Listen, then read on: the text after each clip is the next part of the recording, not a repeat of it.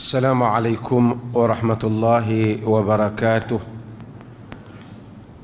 الحمد لله نحمده ونستعينه ونستغفره ونعوذ بالله من شرور أنفسنا ومن سيئات أعمالنا. من يهده الله فلا مضل له ومن يضلل فلا هادي له. أشهد أن لا إله إلا الله وحده لا شريك له وأشهد أن محمدا عبده ورسوله أما بعد. Hadirin dan hadirat yang dirahmati Allah Alhamdulillah kita sambung kuliah kita semula. Sebelum saya mula kuliah ni ada dua perkara saya nak sebut. Yang pertamanya kita seperti mana yang kita sebut sebelum ini masih lagi berterusan membaca kunut nazilah. Kerana di Palestin, di Gaza, peperangan belum tamat. Bahkan Israel dengan ganasnya uh, ber, terus mengebom dan membunuh orang-orang Islam umat Islam di sana. Menjadikan kanak-kanak sebagai perisai diambil kanak-kanak dijadikan perisai. Kanak-kanak Palestin dan kita melihat bagaimana Alhamdulillah Hamas dan Mujahidin di Gaza terus dapat bertahan dan berperang dan membunuh dengan jumlah yang besar tentera kufar Zionis. Dan peperangan ini belum lagi tamat. Walaupun orang-orang kita sebahagiannya sudah pun uh, dah sejuk sebahagiannya. Sebahagiannya yang boykot tu dah mula rasa-rasa ketagih balik ya, sepatutnya kita berterusan di dalam menyatakan penderian kita bersama dengan umat Islam di Palestin. Khususnya di Gaza. Jadi kita sepatutnya terus dan apabila kita berdoa kita berdoa bersungguh-sungguh. Terutama ketika kunut nazilah supaya kita semua sekurang-kurangnya adalah perasaan kita bersama dengan kaum muslimin yang berperang di sana sebahagian kita dah tak ambil tahu dah apa yang berlaku di di Palestin ini satu hal yang saya nak ingatkan. Dan berkaitan dengan itu juga imam-imam yang berdoa untuk isu Palestin khususnya di dalam Nazilah eh, kalau dia follow apa yang kita keluarkan daripada jabatan mufti seperti yang dibaca oleh imam dalam Masjid Alwi ini itu lebih baik untuk dia. Kerana sebahagian mereka kadang-kadang tak tak berapa uh, cekap ataupun tidak berapa halusi bahasa Arab mereka itu menyebab kadang-kadang dhamir dia tu dia balikkan tu tak tahu dia balik ke mana. Terus-terus terus ya Allah ya Allah hancurkanlah mereka. Mereka tu siapa? Biarlah ada mukaddimah kerana doa ini berhubung dengan Palestin dan dia disebut tentang Palestin Allahumma ansurna alaihim. Terus tak start ya Allah menangkan kami di atas mereka. Mereka tu siapa? Walaupun Allah maha mengetahui tetapi biarlah tertib doa itu ada kerana akan diaminkan oleh orang-orang yang berada di belakang imam. Yang kedua ialah saya nak sebut sikit saya nak puji uh, rakyat Perlis. Kerana sehari dua ini saya telah sebut saya telah tulis apabila Duli Yang Maha Mulia Tuanku Raja minta supaya saya edarkan Al-Quran yang disembahkan kepada Tuanku Raja oleh KDN sebanyak 1500 naskah jadi saya kata kita jangan pergi edarkan. Kalau tidak semua orang akan pergi ambil. Dia tengok ada orang nak bagi, dia ambil. Kita kata siapa yang nak Quran, sila datang ke Jabatan Mufti. Kita iklan sekejap je, saya tengok begitu ya ramai orang beratur panjang di jabatan saya, Jabatan Mufti. Untuk mendapatkan senaskah Quran. Beratur tunggu seorang demi seorang dalam masa satu pagi saja lebih kurang hampir 700 Al-Quran dapat diedarkan dan kalau orang biasanya cerita orang beratur kerana nak dapat bantuan di Perlis kita juga ada orang beratur kerana nak mengambil Al-Quran lepas pada tu besok dah habis pagi-pagi penuh saya dan pejabat tengok ramai. Ingat ada demonstrasi. Nak suruh mufti tak jawatan ke apa? Lepas berapa banyak ramai orang berkumpul depan pejabat saya memohon Al-Quran. Ada yang merayu untuk maknya. Bersungguh-sungguh mereka minta Al-Quran. Mudah-mudahan Allah merahmati negeri ini dengan sikap yang baik dan saleh rakyat negeri ini yang sentiasa ha, membaca Al-Quran dan sentiasa menyemak apa yang ada di kandungan Al-Quran. Kita setiap pagi imam semua masjid kita dah minta. Dah berapa tahun sebahagian masjid dah khatam pun. Baca satu muka Al-Quran ataupun sibuk sangat pun setengah muka. Kemudian membaca terjemahannya. Bacaan yang pertama diikuti oleh makmum tujuannya untuk tahsin memperelokkan bacaan dia mimbabi ta'lim mimbabi tadris. Dalam bab tadris sehingga orang kata eh itu satu ibadat baru. Yang tu dia telah ubat tak ancok ya? Orang kata itu imam baca, makmum ikut dan dia membetulkan bacaan makmum. Dan atau makmum mengikut bacaan imam. Kerana untuk membetulkan bacaannya ataupun bagi yang tak lancar dengan dia ikut bacaan imam lama-lama dia akan lancar. Selepas solat, kemudian membaca terjemahannya. Dan insya-Allah jika diizinkan Allah kita akan keluarkan untuk negeri Perlis ni projek kita ialah menterjemahkan keseluruhan al-Quran itu. Ah, di dalam bahasa yang mudah untuk di negeri Perlis ini dengan kita menyertakan uh, komentar ringkas insya-Allah akan keluar mungkin dengan nama Mushaf Jamalul Lail ataupun seumpamanya yang sesuai insya-Allah dan projek itu telah pun berjalan insya-Allah.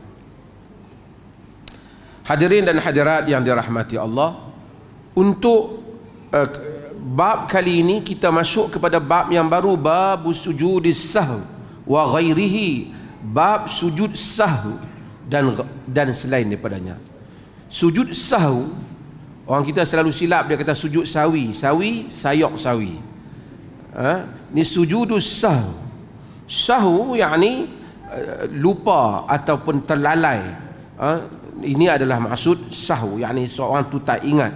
Sujudus sahu yakni sujud yang disandarkan kepada lupa, kepada sahu. Di dalam solat di dalam solat ada beberapa hal. Di dalam solat kadangkala manusia ni dia terlupa. Bukan dia sengaja melalaikan solat tapi dia terlalai ataupun terlupa. Di takdir dia terlupa. Dia boleh jadi dia terlupa bilangan rakaat boleh jadi juga dia terlupa apa perkara-perkara tertentu amalan di dalam solat yang bukan rukun dia tertinggal. Umpamanya Uh, tasyahud yang awal bagi solat yang empat ataupun tiga rakaat dia bangun sebelum dia tasyahud ataupun kita sebut dalam bahasa kampung ni tahiyat. Dan Allah Subhanahu wa taala bezakan antara orang yang memang solat betul-betul terlupa dengan orang yang sengaja lalaikan solat. Bila dia sengaja lalaikan solat itu makna yang alladzina hum an salatihim sahun. Orang yang yang fawailul lil musallin. Oh, neraka wail untuk orang yang salat itu iaitu orang yang sahun. Orang yang sahwi itulah. Tapi dia melalaikan diri daripada salat yang ni dia bukan lalai diri salat ketika dia salat dia terlupa. Dia terlalai. Allah Azza wa Jal menakdirkan bahawasanya baginda sallallahu alaihi wasallam juga terlupa. Supaya menjadi pengajaran kepada kita. Al-imam ibn qayyim al-jauziyah di dalam membahaskan bab terlupanya nabi sallallahu alaihi wasallam kata ini merupakan rahmat besar Allah kepada umat Islam kepada manusia supaya mempelajari bagaimana apabila terlupa dalam salat dan Allah itu menunjukkan agama itu benar daripada Allah kerana agama ini datang dengan setting kemanusiaannya. Manusia lupa. Dalam hadis kita akan dapati Nabi terlupa membaca tasyahud yang awal. Ada riwayat Nabi SAW lupa solat dua rakaat baginda bagi salam ada riwayat baginda solat tiga rakaat bagi salam. Pada solat empat rakaat. Ada riwayat seperti Abdullah bin Mas'ud baginda solat lima rakaat terlebih rakaat. Kenapa? Kerana Allah Azza wa Jalla mentakdirkan hal ini supaya kita dapat mempelajari fiqh. Kita dapat mempelajari fiqh daripada Nabi sallallahu alaihi wasallam dan supaya kita dapat mempelajari basyariyatul rasul kemanusiaan rasul. Rasul itu manusia. Dia bukan malaikat. Dia manusia. Maksudnya kadang-kadang dia lupa dan kita akan lihat hadis-hadis Nabi sallallahu alaihi wasallam ha, di dalam masalah ini dan bagaimana baginda sallallahu alaihi wasallam menyebut tentang terlupanya baginda dalam solat dan ini adalah part yang penting di dalam mempelajari agama. Sebab itu agama perlu dipelajari daripada teksnya. Kenapa soal basyariyatul rasul? Soal rasul itu adalah bashar sentiasa ditegaskan oleh syariat.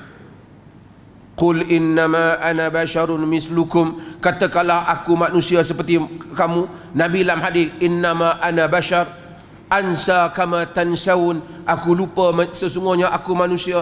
Aku lupa macam kamu lupa. Supaya tidak ada penyembahan kepada rasul. Supaya manusia hanya mendaulatkan mengagungkan mengabdikan diri pada Allah memuliakan rasul sallallahu alaihi wasallam dan mengetahui baginda adalah qudwah di mana baginda tempat kita ikut. Kalau nabi itu tak lupa tak macam manusia. Tak makan tak lupa tak apa. Kita tak ada. Laqad kana lakum fi rasulillahi uswatun hasanah sesungguhnya bagi kamu pada diri Rasulullah itu teladan yang baik. Macam mana nak teladan? Nabi tak lupa. Nabi tak tidur nabi tak sakit nabi tak sedih nabi tak pernah tewas nabi tak pernah cedera. Kita tak boleh nak ikut nabi. Tapi bagi setiap episod kehidupan insani. Manusia sebagai manusia manusia sebagai insan dia akan mendapati adanya Nabi sallallahu alaihi wasallam di situ. Kalau dia sedih Nabi pernah sedih. Kalau dia sakit Nabi pernah sakit. Pernah kena lontar patah giginya berdarah pipinya. Kalau ada orang yang disayangi meninggal Nabi pernah meninggal anaknya. Dan baginda menangis Kalau Nabi sakit, kita sakit, Nabi pernah sakit. Sebelum Nabi wafat, Nabi sakit. Dan kita telah syarah tentang peristiwa wafat Nabi, berapa hari Nabi sakit.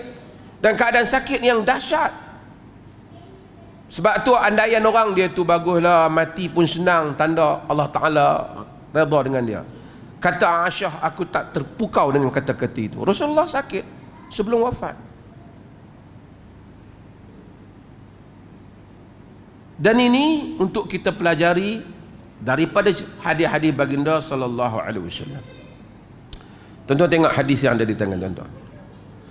Wa an Abdullah ibnu Buhaina radhiyallahu anhu anna Nabiy sallallahu alaihi wasallam صلى بهم الظهر صلى بهم الظهر فقام في الركعتين الأوليين ولم يجلس.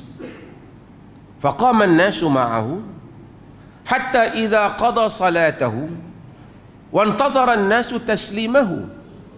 فكبر وهو جالس وسجد سجدتين قبل أن يسلم.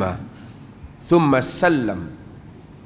أخرجه السبعة وهذا اللفظ البخاري. حديث ini dia kata diriwayatkan oleh tujuh. Dan terjemahan tuan-tuan dia tulis apa? Riwayat apa? Tujuh. Kalau dia sebut tujuh, dalam konteks Ibn Hajar ini, dia maksudkan ashabus sunan yang enam. Dan termasuk satu lagi, Imam Ahmad. Sunan yang enam siapa? Al-Bukhari, Muslim, Abu Dawud, At-Tirmidhi, ataupun atau Al-Bukhari, Muslim, An-Nasai, At-Tirmidhi, Abu Dawud dan Ibnu Majah. Baru enam. Tujuh siapa? Ahmad bin Hanbal. Imam Ahmad. Imam Ahmad lebih awal lagi kerana dia meninggal 241 sebelum mereka dalam Musnad Ahmad. Imam Ahmad dia musnad. Kenapa ada sebut Sunan Tirmizi, ada sebut Musnad Ahmad? Yang ini saya telah sebut beratus kali tapi bagi yang masuk kuliah baru musnad apabila hadis itu diriwayatkan secara nama rawi dia letak sekali hadis Aisyah dia letak sekali hadis Abdullah bin Mas'ud. Dia letak sekali hadis Ibnu Abbas. Kerana musnad sanad. Sunan dia meriwayatkan hadis itu berdasarkan pada bab-bab fiqh ataupun bab-bab yang dia letakkan. Di dalam dalam kitab-kitab hadis ini dia panggil tarajim. Maksud terjemah-terjemah bab. Bab kitabul kada kitab sekian bab sekian.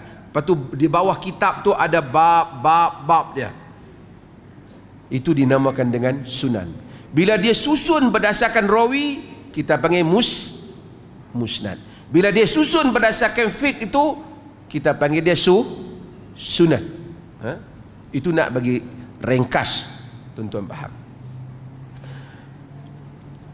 Wal lafzu al-Bukhari wa hadha al-lafzu al-Bukhari. Ada ada tulis. Ha? Siapa ada kitab? Wa hadha al-lafzu al-Bukhari maksudnya lafaz ini lafaz Bukhari. Pasal apa dia sebut demikian? Dia sebut demikian untuk dia bagi dia nak bagi tahu kita bahawasanya hadis ni lafaz Bukhari berbeza dengan lafaz orang lain. Hadis tu bila diriwayat daripada Nabi sallallahu alaihi wasallam ada satu bab dalam hadis dia panggil ar-riwayah bil makna. Ar-riwayah bil makna. Yakni rawi kadang-kadang diriwayat dia menggunakan ayat dia sendiri. Maksudnya bukan keseluruhan hadis Kadang-kadang ada dua tiga tempat ayat dia sendiri masuk ke depan ke belakang yang mana dia pada dia ayat tu sama dengan ayat asal. Mungkin kerana itu ayat yang dia ingat umpamanya jadi dia gunakan ayat itu. Yang ni dia panggil ar-riwayah bil makna. Dia riwayatkan secara makna. Ulama-ulama hadis dibit pan, panjang tentang masalah ar-riwayah bil makna dan menimbulkan mazhab-mazhab di dalam ilmu hadis tentang riwayat bin makna sama ada mereka dibit atau tidak dibit riwayat bin makna telah berlaku di dalam semua kitab hadis. Maksudnya rawi riwayat kita kita dalam bahasa ni cakap ajuk dengan cakap apa? Cakap ajuk cakap pindah kan? Nabi cerita yang tu rawi ni dia ambil yang tu juga. Cuba kadang-kadang dia ada yang ringkaskan sikit riwayat tu. Dia mungkin dia potong bahagian yang dia nak dia nak jelaskan saja.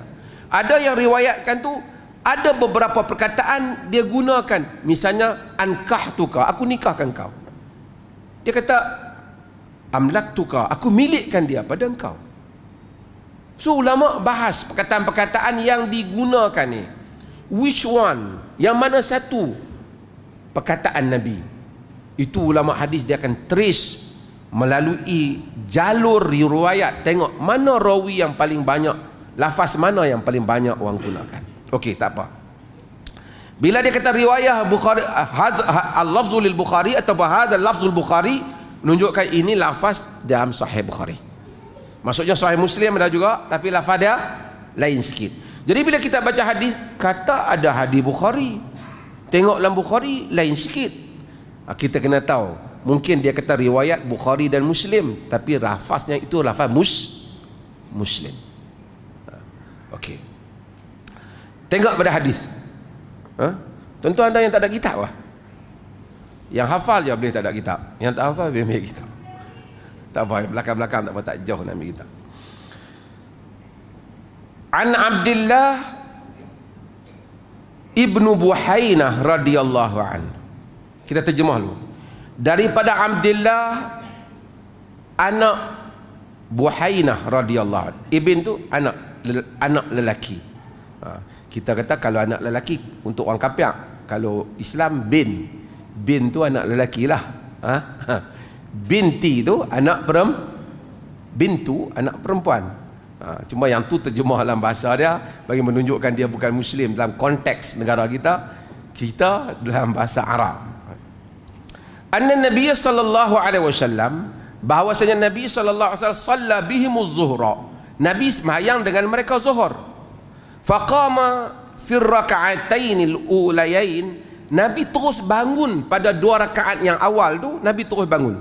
Patutnya pada dua rakaat yang awal baginda duduk untuk Untuk apa? Tasyahud awal. Tapi baginda tak duduk untuk tasyahud awal.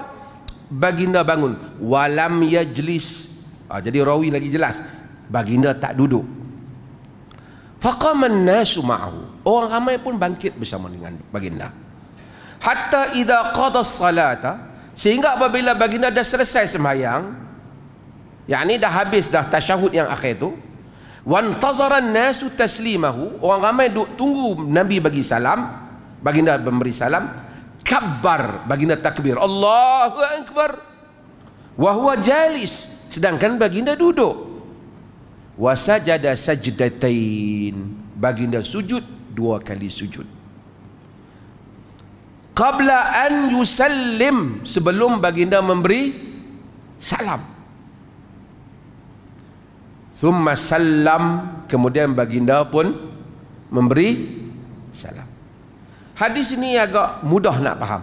Tapi saya akan cuba syarahkan sudut-sudut yang untuk kita faham. Hadis ini diriwayatkan oleh Abdullah ibnu Buhainah. Abdullah bin Buhainah ni dia Abdullah bin Malik. Malik tu nama bapa dia. Buhainah adalah nama ibunya. Ha? Buhainah tu nama ibu dia. Arab ni uh, Arab ni dia ada satu bab bab dia panggil kunyah. Kunyah. Bukan kunyah. Kunyah. Kunyah. Dia kunyah ni dia panggil orang abu. Abu sekian. Abu maryam. Ha. ataupun abu muhammad kan? Abu abdullah bapa kepada maryam. Bapa kepada abdullah nama dia tu lain. Nama dia tu mungkin muhammad ahmad tapi anak dia nama Mar, uh, Maryam umpamanya anak perempuan dia Abu Maryam. Ataupun dia kata anak lelaki dia nama umpamanya apa nama Saleh Abu Saleh. Yang ni bab ni dia panggil kun kunyah. Dia boleh kunyah ni sandar nama sandar gelaran ataupun panggilan kepada bapa boleh juga kepada anak boleh juga kepada pak saudara. Macam mana? Pada bapak dulu hak tadilah Abu sekian-sekian. Tentu ada nama anak apa? Fatimah. Abu Fatimah. Kalau ada anak nama uh, lelaki dia nak bubuh lelaki ke perempuan ke dia abukan diri dia. Dan ini diamalkan semasa sebelum Nabi jadi Rasul di kalangan Arab Jahiliyah sehingga selepas itu bersambungan budaya Arab seperti itu Bahkan Nabi juga Abu Qasim. Abu Qasim. Gelaran itu. Kenapa orang Arab buat benda ni? Kerana katanya salah satu sebabnya dia nak elak kalau orang kutuk dia tak kena direct kepada dia. Dia pergi kepada gelaran itu. Okey. Ada orang pakai Abu, Abu sekian, Abu sekian. Ataupun perempuan Ummu, Ummu Sulaim, Ummu, ibu, ibu. Tu kunyah mimbab kunyah. Kunyah ni bukan gelaran saja tapi maksudnya sandaran nama eh, panggilan kepada sesuatu yang lain. Boleh juga anak seperti Ibnu Omar. Nama dia Abdullah tapi kita panggil Ibnu Omar. Anak pada Omar. Ibnu Abbas nama dia siapa? Abdullah ibn Abbas. Abdullah ibn Abbas. Okey. Ini adalah gelaran orang Arab ada juga orang yang tak ada anak tapi Nabi panggil. Contohnya hadis ya Abu Umair, ma fa'ala Nughair kata Nabi. Wahai Abu Umair, Nabi panggil kat budak kecil tu. Uh, adik Anas yang meninggal tu. Uh, dia suka dia main burung yang kecil tu. Ya, Nabi kata ya Abu Umair. Jadi menyebabkan sebahagian para ulama kata boleh juga nak beri abu timbang-timbangan kepada satu orang. Ada yang bubuh abu kepada binatang. Arab panggil singa Harith. Harith. Abul Harith. Bapak singa. Nampak cengih sikit kan? Dan demikian Ibnu pun banyak. Okey. Ibnu ni ada orang Ibnu kepada bapa. Ada orang Ibnu kepada kepada mak. Contoh orang Ibnu kepada mak, Ibnu Umi Maktum. Anak kepada Umi Maktum. Umi Maktum tu bap bap uh, ibunya namanya Atiqah. Contoh satu orang lagi yang dibinkan pada ibu dia. Abdullah bin Ubay ibnu Salul. Salul tu pada majoriti para ulama bukan nama bap tok wan dia. Salul adalah nama ibunya. Salul nama ibu dia jadi dia ibnu Salul anak kepada Salul. Salul itulah nama ibu kepada Abdullah bin Ubay. Abdullah bin Ubay itu yang tuan-tuan semua kenal sebagai kepala munafik. Kepala munafik mana? kepala munafik Madinah. Jadi kalau kita nak baca dalam bahasa Arab Abdullah ibn Ubay ibnu Ubay ibnu Salul. Bukan ibni Salul. Pasal ibnu kerana dia di, Salul tu nama mak dia Abdullah anak Ubay anak Salul. Bukan Ubay tu anak Salul Abdullah tu lah anak anak Salul. Tuan-tuan faham kan saya cerita ni? Ha? saya nak cerita hadis macam tu lah. Dia punya dia punya art dia kan. Okay. Abdullah bin Buhaina Buhaina tu bukan bapa dia. Bapa dia nama Malik. Maka sebahagian riwayat dia datang Abdullah bin Malik ibnu Buhaina Abdullah bin Malik ban bin Buhaina Buhaina tu mak dia. Ha. jadi bin mak. Kita pula kalau bin mak keluar nak haram dia kata. Itu pun salah dalam kita punya tradisi ya. Cara faham kita. Okey. Hadis ni dalam hadis ni ada beberapa hal? Pertama Nabi SAW apabila sampai dua rakaat yang sepatutnya baginda duduk okey duduk untuk tasyahud tasyahud awal ataupun tuan-tuan panggil tahiyat awal tahiyat awal ulama-ulama berbeza pendapat. Sebahagian para ulama menyatakan ia adalah perkara sunat yang dituntut di dalam salat. Sebahagian mereka menyatakan tahiyat awal hukumnya wajib. Apa beza wajib dengan rukun? Rukun kalau tinggal batal salat. Wajib kalau tertinggal dengan sengaja berdosa tapi kalau tertinggal dengan tak sengaja sujud sah tapi majoriti para ulama kata tak wajib Al-Imam Al-Bukhari di dalam sahih dia nampak macam dia dia nak pergi kepada tak wajib. Sebab dia letak tajuk. Sebab tu tuan-tuan apabila ramai orang fiqh syafi'i Al-Bukhari juga ada fiqhnya. Walaupun orang suka kata Bukhari itu sebenarnya mazhabnya syafi'i itu andaian. Tapi Bukhari ada sisi fiqhnya itu sendiri. Dalam ni dia kata bab man, man lam yara at-tashahuda al-awwala wajiban bab orang yang tak mempendapat tasyahud awal itu wajib jadi dia masukkan hadis ni Maksudnya dia anggap tidak tidak wajib. Mazhab mana yang kata wajib tu? Mazhab Imam Ahmad. Hambali. Sebab tu kalau tuan-tuan tengok Ibn Usaimin, fatwa-fatwa Ibn Bas, mereka kata tasyahud wajib. Pada itu adalah mazhab mazhab mereka. Okey. Yang penting Nabi tak duduk pada dua tasyahud tu. Faqama walam yajlis, baginda bangun, baginda tidak duduk. Bila baginda tidak duduk, baginda terus bangun pada rakaat itu, maka orang ramai juga mengikuti baginda sallallahu alaihi wasallam. Dia kata, faqaman nasu ma'ahu, orang ramai bangun bersama dengan mereka. Ini memberikan satu fake pada kita. Imam kalau dia tak buat perkara yang membatalkan solat, sekalipun kita tidak bersetuju dengan dia, maka kita ikut dia. kita ikut dia Nabi dia kata walam yajlis dia tak duduk ini juga memberi satu makna kalau satu orang tu telah bangun daripada dua rakaat yang awal tu tak tak duduk tasyahud dia bangun katakanlah dia bangun berdiri orang kata subhanallah. Ada orang kata kat belakang Oi, dia kata lupa tasyahud dia tak boleh dah duduk kerana dia sudah berpindah kepada rukun yang berikutnya. Dia hanya boleh duduk apabila dia belum lagi berdiri.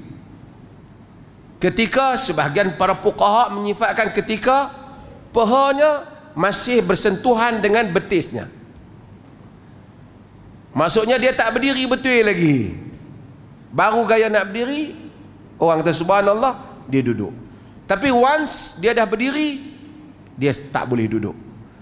Bahkan para fuqaha menyebut sebagainya batal jika dia duduk.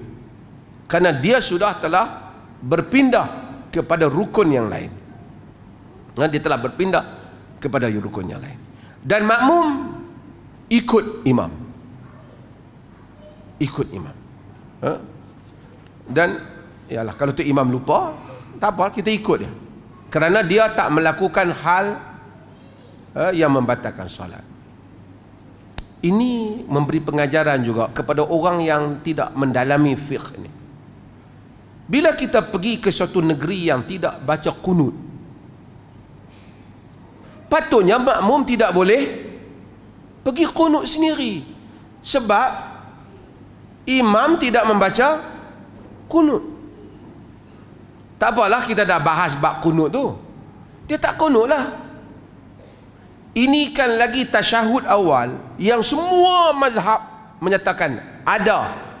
Sama ada antara wajib dan sunat yang sangat dituntut pun para sahabat bangkit tak baca sendiri. Bagaimana mungkin untuk kita kunut sendiri sedangkan imam turun sujud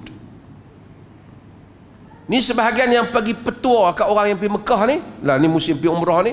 Ha, kalau tu imam tak ni kita kunut pendek. Ada kunut pendek kunut panjang? Ni bukan kunyit panjang pendek. Dan ini salah. Ini salah. Ha? kerana innama ju'ila al-imam liyu'tamma bih dijadikan imam untuk untuk kita mengikuti imam hadis ni kata sehingga hatta idza qada salata sehingga nabi sallallahu alaihi wasallam ha, selesai menunaikan solat. Yakni habis. Ha, baginda tak terganggu baginda tak patah balik baginda sehingga baginda habis.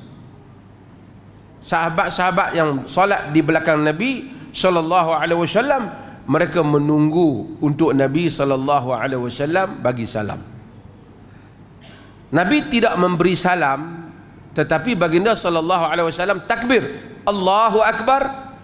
Memberikan satu lagi hukum iaitu sujud sahwu kita takbir. Kita takbir. Di dalam tuan-tuan baca dalam hadis tuan-tuan tu di dalam bawah tu wa fi riwayatin li muslim di dalam riwayat daripada muslim tuan-tuan nampak hadis tu? Yukabbir fi kulli sajdatin wa huwa jalis baginda bertakbir bagi setiap kali sujud. Sedangkan baginda duduk. Maksud dia dia sujud dua kali sujud yang pertama pun dia takbir sujud yang kedua pun dia dia bangun Allahu akbar. Kemudian dia nak sujud lagi pun dia bertakbir. Wasajadan nasu ma'ahu. Dan orang ramai sujud bersama dengan Nabi sallallahu alaihi wasallam. Maka nama nasiya minal julus disebabkan apa tempat yang baginda lupa daripada duduk untuk tasyahud tadi. So kalau kita ikut imam imam sujud kita sujud tak? Kita sujud. Imam sujud sawi dia tahan yang lupa bergaku. Nah? imam dijadikan imam untuk kita kita ikut maka kita ikut uh, di di belakang imam. Hadirin yang dirahmati Allah. Di dalam hadis ni dan di dalam hadis-hadis yang akan kita baca nanti sahabat tidak menyebut apakah bacaan ketika sujud sahwu itu dia tak sebut Kerana kenapa? Kerana tidak ada perbezaan bacaan sujud antara sujud sahw dan sujud selain daripadanya. Jadi bacaan dia apa? Bacaan yang tuan-tuan baca dalam sujud. Subhana rabbil a'la ataupun bacaan-bacaan yang lain yang tuan-tuan baca dalam sujud yang dibaca oleh Nabi sallallahu alaihi wasallam. Adapun bacaan subhana man la yanamu wala yashu Maha suci Tuhan yang tidak tidur dan tidak lupa tidak diriwayatkan daripada hadis yang sahih. Tidak diriwayatkan daripada hadis yang daif. Tak juga diriwayatkan daripada hadis yang palsu. Maksudnya apa? Tak adalah mana-mana riwayat. Tetapi disebut di dalam sebahagian buku-buku fiqh dengan buku-buku fiqh ini tak memberitahu daripada mana mereka ambil benda ni. Hatta kitab seperti uh, fiqhul al-fiqhul islami Wahbah Zuhaili umpamanya yang banyak mendatangkan dalil disebut juga bacaan ini. Tapi dia juga kata disebut dalam sebahagian buku-buku sufi ataupun kitab-kitab. Dari segi riwayat tak ada. Tak ada. Berdasarkan disiplin fiqh kita mengamalkan salat berdasarkan apa yang ada di dalam daripada riwayatkan daripada na, Nabi sallallahu alaihi wasallam maka kalau ditanya apa yang dibaca di dalam bacaan sujud saw baca yang tuan-tuan baca subhana rabbiyal ala.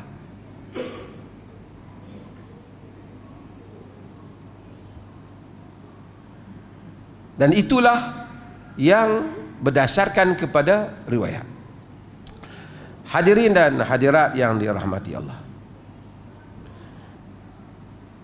Hadis ni macam saya sebut tadi ada satu dimensi yang penting untuk kita pahami di dalam membaca sirah tadi. Sudut syumul sirah sudut apa nama dia merangkumi bagi semua peringkat sirah itu. Tapi salah satu sudut penting sirah Rabbaniyah dia adalah merupakan daripada Allah yang mendidik Nabi satu sudut yang penting saya nak sentuh pada hadis ini yang saya sentuh pada mukadimah tadi iaitu sudut basyariyatul rasul. Bagaimana kita akan lihat hadis ni? Saya akan tambah sikit lagi tuan-tuan azan dulu. Okay, ni azan dulu. Insyaallah lagi saya sambung sikit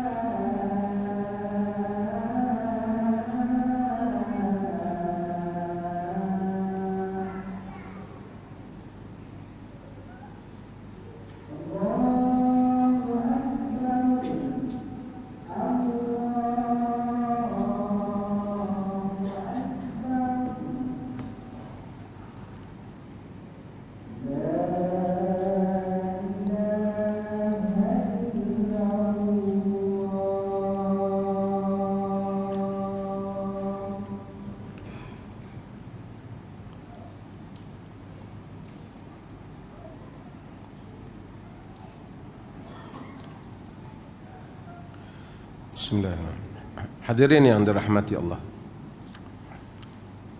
Hadis ni yang kita baca dan hadis-hadis yang selepas daripada ini tentang sujud sahwi memberikan satu makna kepada kita bahawasanya Nabi sallallahu alaihi wasallam juga berlaku pada baginda kadang-kala terlupa ataupun lupa. Dan lupa merupakan tabiatul bashar, tabiat bashar. Dan hadis ni nak memberi makna pada kita bahawasanya insan yang dilantar oleh Allah menjadi rasul ke, untuk kita contohi ialah manusia insan. Supaya kita tidak boleh menjadi hujah di hadapan Allah macam mana aku nak ikut? Nabi Muhammad tak apalah dia super power dia tak lupa dia tak sakit. Apa-apa orang nak buat dia tak boleh kena. Macam sebahagian orang cuba nak andaikan sekarang ni saya duk sebut 2-3 minggu ni di Indonesia juga panas bahas tentang saya bukan anti golongan yang disebut Habib-Habib ni. Tetapi masalahnya ialah exaggeration. Apabila orang cuba melebih-lebihkan seolah-olah keajaiban yang luar biasa. Habib itu macam saya sebut boleh padam api neraka boleh duduk bila bila dipanggil boleh selesai masalah. Bila dipanggil boleh menyelamatkan. Dan tuan-tuan tahu setiap orang yang exaggerate ni dia besarkan ini dia ada faedah di belakangnya. Saya selalu sebut contoh pada tuan-tuan. Kalau betul ada manusia yang begitu boleh ganti Tuhan walaupun mereka tak kata ganti Tuhan mereka kata kita tawasul tawasul lain makna dia istighathah minta tolong kepada mayat lain Kalaulah ada orang yang you boleh sebut nama dia, panggil dia, dia boleh tolong. Kenapa awak tak panggil Abu Bakar ya? Tidakkah Abu Bakar insan yang terbaik selepas daripada Nabi? Kenapa tak panggil Omar? Kenapa tak panggil Osman? Kenapa tak panggil Ali? Tapi mereka tak panggil nama-nama ni. Maka panggil Habib-Habib mereka, wali-wali mereka yang ada di kubur tertentu. Kerana di belakang hal ini tuan-tuan ada bisnes yang lain. Awak kalau nak ni awak kena pergi kubur wali sekian. Wali sekian ni saya yang akan bawa. Saya yang ada kenalan dengan dia. Ha, ini cucu dia. Ha, ini darah ada. Semua ni ada program yang akhirnya ada pihak yang akan collect duit atau menguang keuntungan dan itu yang berlaku. Pergi ke Mekah tak puas hati lagi. Lagi tak minta dikubur. Di India Brelwi semayang tak puas hati lagi. Nak doa pergi ke kubur. Dan normalisasi ini cuba dibawa ke dalam negara ini. Oleh sebahagian puak yang kemudian menamakan mereka sebagai ahli sunnah wal jamaah tidak ada kaitan hal ini dengan ahli sunnah wal jamaah bahkan ahli sunnah wal jamaah menentang hal ini di mana Abu Hasan Ash'ari sebut hal ini Abu Hasan Syari seluruh apa yang dia adalah membahaskan masalah sifat, masalah-masalah isu di dalam akidah. Di mana masalah kubur yang disebut oleh Abu Hasan Syari. Dan ini pengajaran kepada sebahagian golongan salafi yang pelampau yang memusuhi Hasan al-Banna rahimahullah. Hasan al-Banna dalam usul 20, usul 20 Hasan al-Banna. Seratus tahun yang dulu Hasan al-Banna telah merumuskan 20 usul dalam agama. Salah satu usul yang mesti dipahami oleh pengikutnya Berhubung dengan memanggil mayat di kubur. Baca usul 20 Hasan al-Banna. Soal ayat sifat Soal mayat di kubur Soal tawasul Soal ibadat yang mengikut Nabi Semua Hasan al-Banna masukkan dalam 20 usulnya. Kamu memusuhi Hasan al-Banna akhirnya kamu tengok yang datang ni siapa?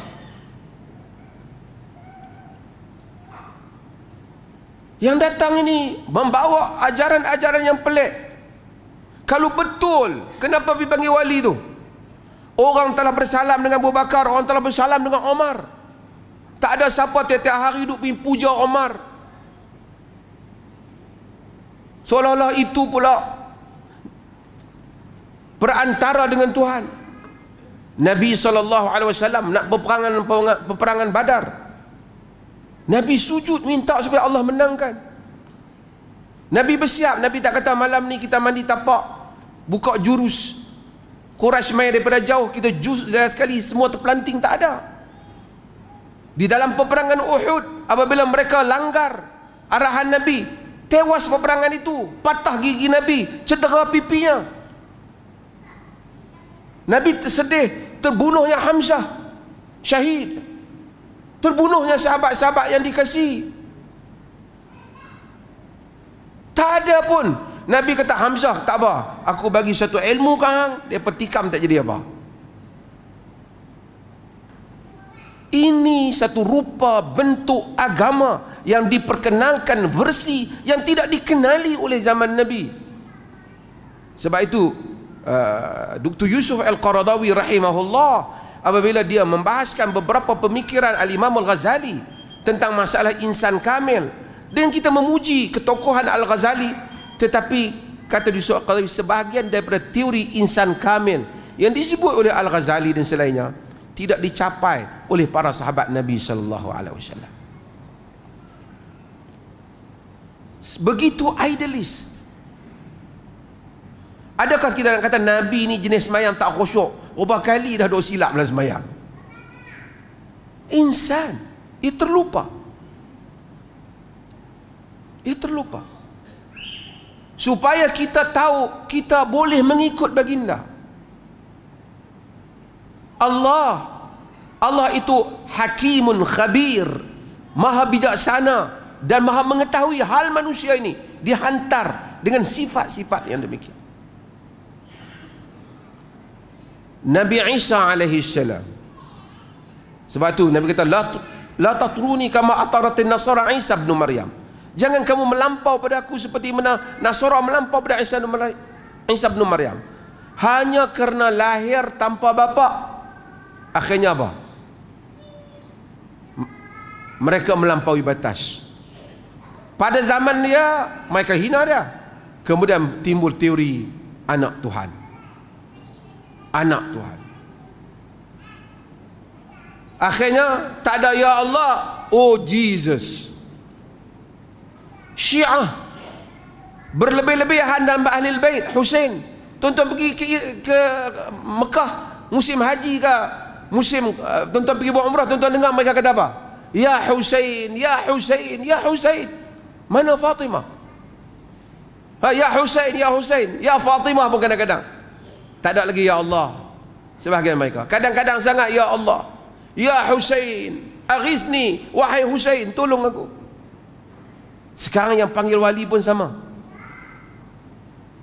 Minta Habib ni tolong, Habib ni tolong, berkat Habib ni tolong selamatkan. Ya Husain, ya Husain. Dibandingkan Syiah dengan yang wali-wali yang mereka panggil. Ya Husain itu Husain bin Ali. Husain itu adalah Husain ibnu Fatimah bintu Rasulullah. Husain bin Fatimah, Fatimah anak Rasulullah. Hak wali hak depa duk panggil kok Indonesia ke kok Malaysia ni ke apa kok mana Arab mai hak pakai jubah ni negeri dia pakai pakai seluar jin mai sini pakai jubah ni yang ni wali-wali ni yang mereka panggil ni yang konon pada mereka wali ni dibandingkan nothing dengan kedudukan Hussein pun Syiah tidak diterima di sisi ahli sunnah orang sunni tak panggil ya Hussein ya Hussein apabila wafatnya Rasulullah wasallam tak ada sahabat fikir Nobody boleh jadi khalifah kecuali daripada titis keturunan Nabi. Kalau tidak mestilah menantu Nabi Ali. Tak ada. Pencalonannya ialah Abu Bakar. Kemudian senarai nama yang uh, kemudian Omar tak ada bantahan. Kemudian senarai nama yang uh, Omar letakkan. Kemudian berlaku pencalonan antara Osman dan Ali. Majoriti memilih Osman. Bukan ahli sunnah tidak menghormati ahli bait. Tapi bukan itu caranya.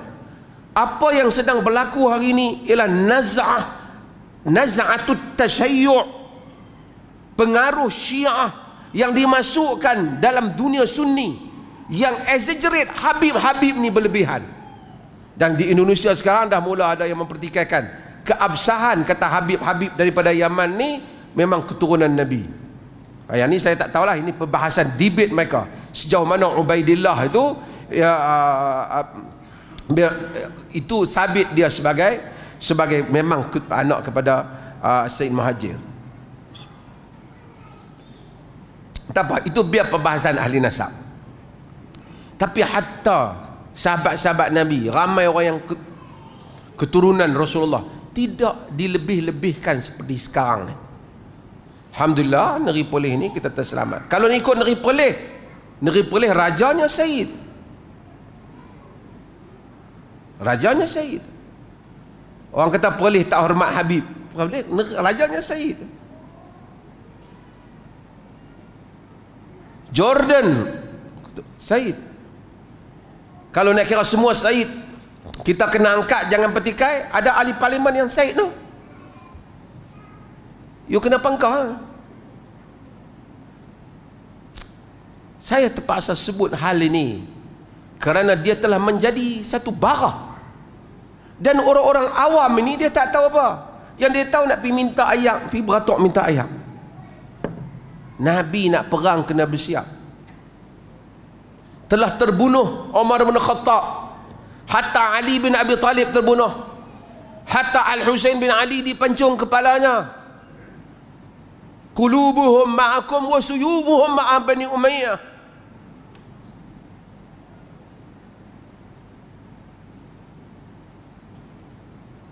agama datang Tuhan tak jadikan dengan masuknya Islam awak jadi super su, superman.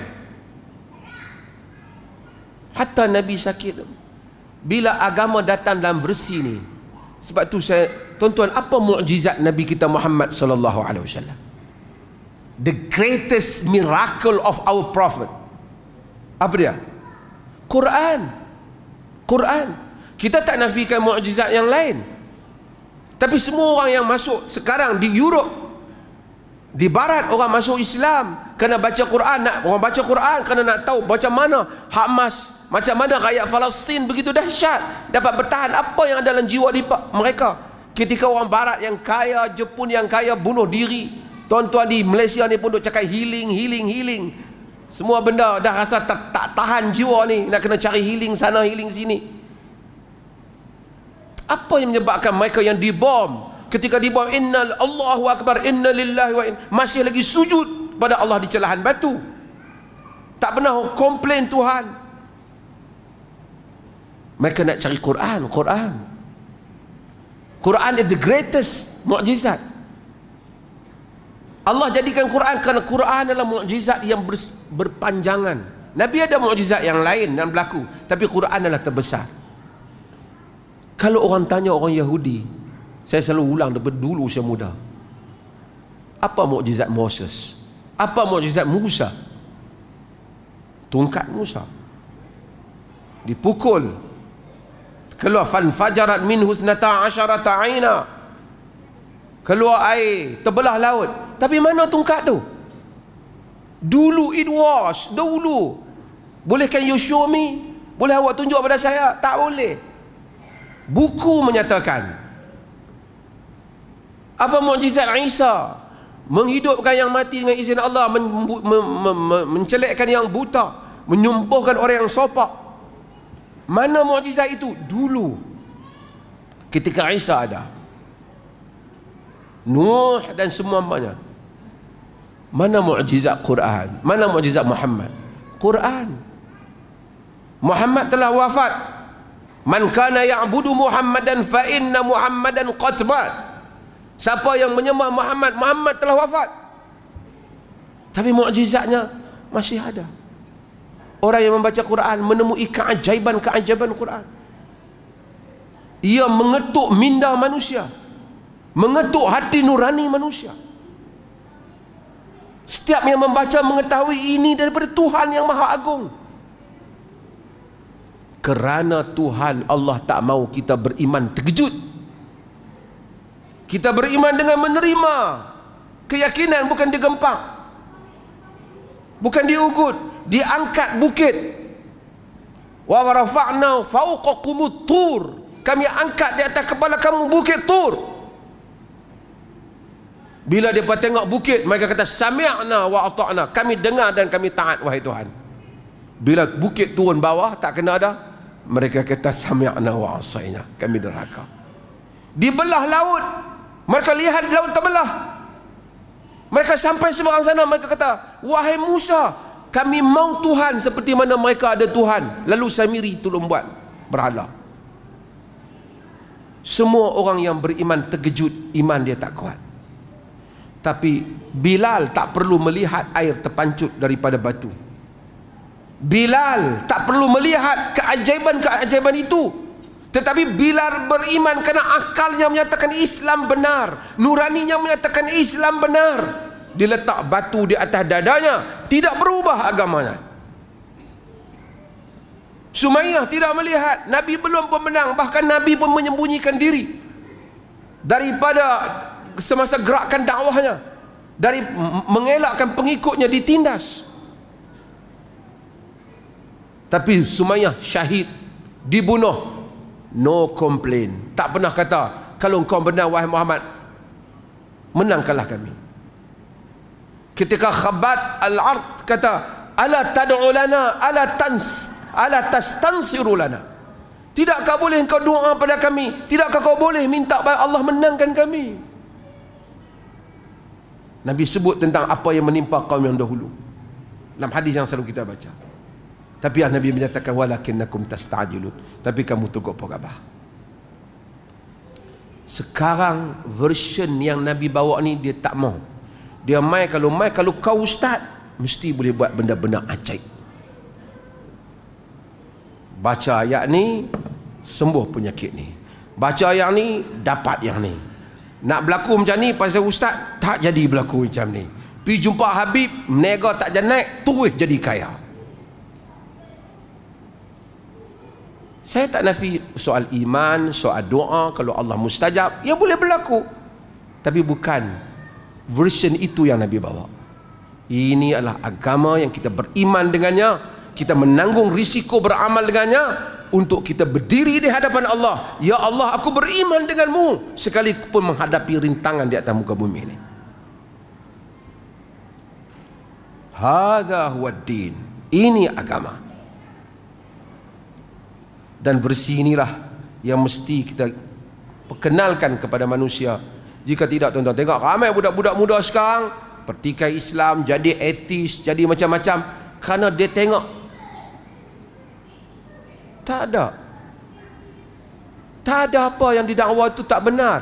Agama jadi mainan golongan golongan ustaz saja.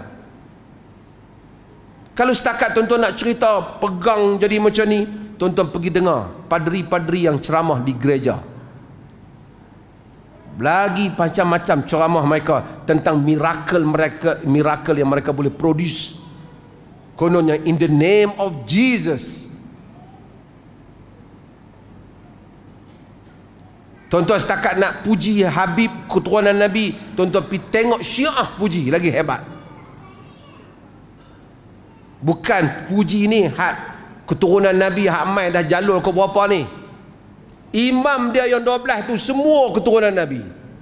Daripada Hasan, Hussein Bakir, Sadiq, Kazim. Semua keturunan Nabi. Memang terus cucu-cucu Nabi. Kalau itu menjadi pengukur maka ahli sunnah adalah mazhab yang salah tapi landing yang saya sebut landing yang sedang datang ni dia terbangkan dulu versi ni. Nanti syiah datang mudah. Kalau satu orang boleh panggil wahai Abdul Qadir Jalani aghisni ya ghaus wahai Abdul Qadir Jalani tolong aku. Why is different. Awak panggil oh Jesus help me. Wahai Jesus tolong aku. Nabi Isa lah Nabi. Ni Rasul yang ni wali saja kalau boleh panggil wahai Habib tolong saya. Tuan-tuan tengok Indonesia banyaklah ceramah-ceramah macam ni. Lebih baik panggil ya Hussein, wahai Hussein bin Ali, cucu Nabi, tolong aku.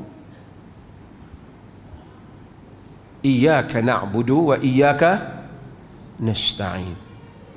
Sallallahu ala nabiyyina Muhammad Alhamdulillah. Tuan-tuan dah panjang pula saya celetih tuan-tuan tak ada buka soalan. Terima kasih banyak. InsyaAllah minggu depan kita buka soalan tuan-tuan pun nak pergi makan kenduri banyak cuti-cuti ni. Ramai orang luar memang. Ayat piu, piuris, ahlan wasahlan kenduri perleh dan semua kita tengok dua tiga orang pada majlis ni. Semoga Allah rahmati kita semua. Sekian wassalamualaikum warahmatullahi wabarakatuh.